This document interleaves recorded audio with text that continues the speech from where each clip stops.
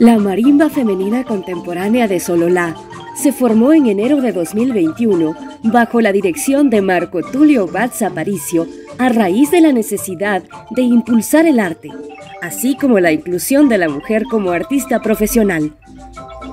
En la convocatoria 2021-2022, esta formidable agrupación inició los trámites para solicitar el apoyo de la DESCA.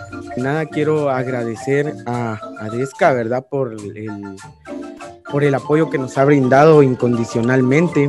También este, agradecerles ahí sí que a todas las señoritas que están acá conmigo, ¿verdad? Ya que ha sido un proyecto que hemos venido trabajando ya más de un año, el cual nosotros pues nos sentimos muy felices por haber este por haber sido uno de los elegidos, ¿verdad? Ya que me imagino que a nivel nacional han de ver muchos proyectos, pero más sin embargo, creo que gracias a DESCA, gracias al apoyo de los que están a, cargo de los proyectos, gracias a la gestión de papelería allá en la ciudad capital, gracias al apoyo de las señoritas que siempre han estado ahí para, para poder seguir con el grupo, creo que llegamos a este día que nosotros los esperábamos con ansias, ¿verdad?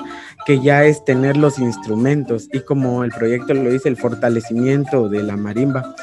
También tengo este, el gusto de comentarles que gracias al apoyo de Yadesca, gracias al, a la gestión del proyecto, pues nosotros hemos ya sido más reconocidos aquí en el departamento e incluso fuera del departamento.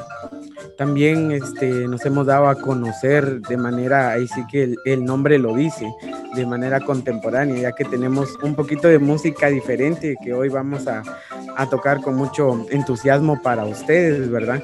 Y es así como se ha fortalecido y hoy culminamos otro gran proyecto al servicio de la cultura.